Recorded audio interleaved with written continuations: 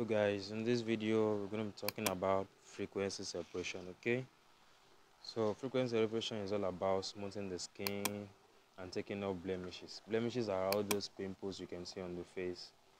Sure get. So the first thing we're going to do is we are going to be duplicating our background as our image, the one we're working on. We're going to be duplicating it into two. You can always Control J or you drag it to the nearest new layer. Then that's how you double click it okay? So now we're going to be naming the middle layer we're going to be naming its color. And we're going to be naming the one above it we're going to be naming that one texture. Okay? So now the first thing we're going to be working on is color. Okay? And what are we going to be doing to color? We want to blur the color layer. Okay? So we are going to go to filter we go to blur i'm going to select gaussian blur. Okay and when you're selecting Gaussian blur look for an area that has texture but is closer to where you, have your eyes okay?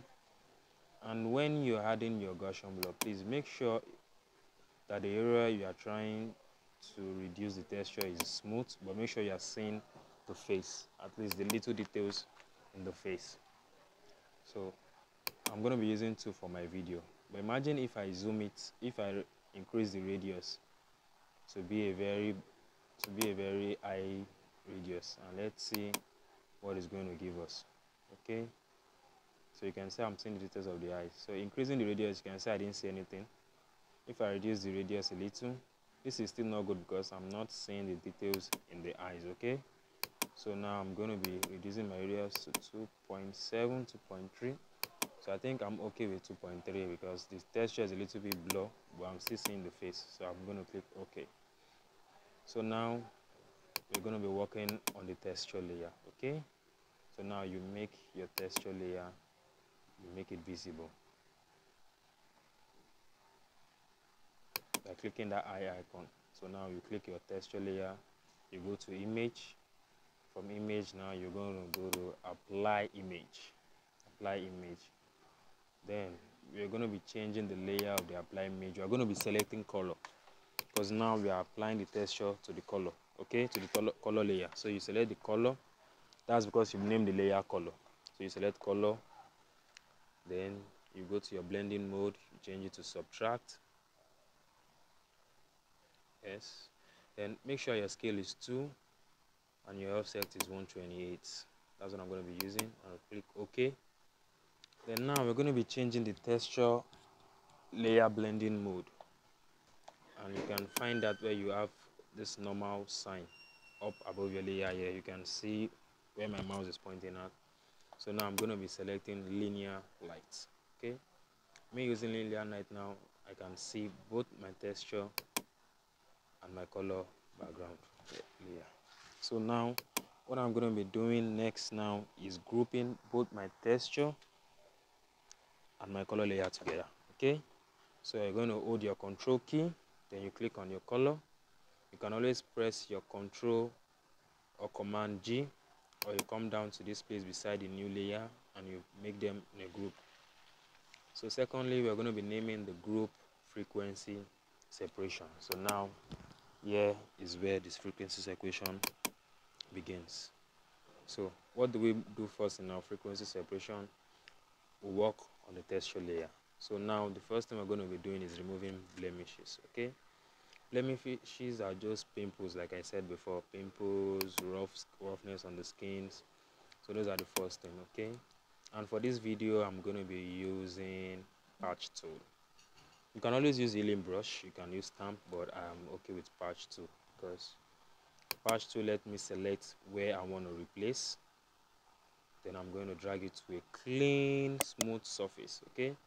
You select the blemishes you drag to a clean surface without blemishes. So what you have to do is you click you, you round it you click you round it and you drag it to where you want to replace it with okay? So you can see i'm clicking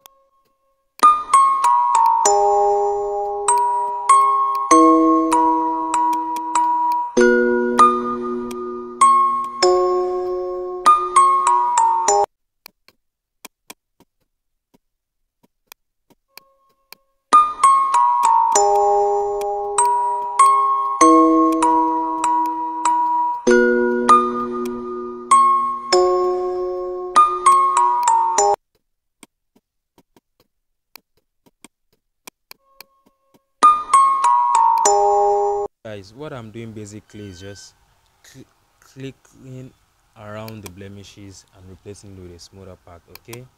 There's nothing special there's nothing new. That's what i've been doing since okay guys? So the next step now after you have removed all the blemishes around is to smooth the skin. So now we're going to be working on our color and i'm going to be using my mixer brush too okay? You go to brush select your mixer brush too then in that place make sure you are using a clean brush. You're selecting the second option among those brush panel. Make sure your weight is 7 your load is 75 your mix is 90 and your flow is 100 okay? And the other one stays like that it's always like that. So now what i'm going to be doing basically now from here is just blending similar tones together okay? Like blending similar tones in the in the skin together that's all so you just brush around you brush around the surface. You can see you just brush around the surface brush around the surface. It's like you're cleaning the skin. So you are making sure you are taking your brush around similar color tones. Okay? Yeah make sure you're taking the skin around. If you notice now the skin is getting a little bit smooth. It's not as rough like the way it was before. So that's what i'm just doing basically just brushing around the skin surfaces make sure i'm brushing around similar skin tones. Take your time don't be in a hurry. You might not get it the first time but you have to just keep trying. You have to just keep trying okay? So i'm gonna forget when you're using your mixer brush tool, we are working on the color layer okay? We are working on the color layer. The last the one we did before now when we are removing those blemishes we were working on the texture layer. So now you, when you're using your mixer brush to make sure you're on your color layer. Because a lot of people make that mistake a lot and you wonder wondering why it's not working. So make sure you're always on the color layer when you're using your mixer brush too. So in my next video we're going to be doing color grading and i'm going to also teach you how to use gaussian blur instead of mixer brush because some people find it difficult to use mixer brush so i'm going to be teaching you how to also use the gaussian blur instead of you using the mixer afraid i'll make me out of sight wanna see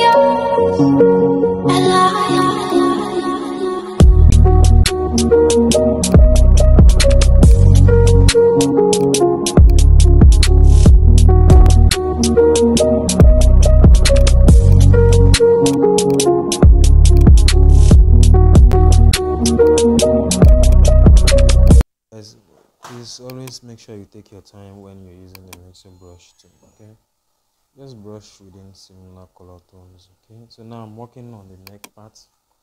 All you need to do is brush just brush you brush. And sometimes you might not see the effect. All you have to just do is you turn off your group icon layer then you turn it on again. So now let's see if that has been different from what we've been doing. So let me turn of the group the frequency group icon. You can see this is the old one. This is now. This is before. This is now. Thank you for watching this video. See you next time. See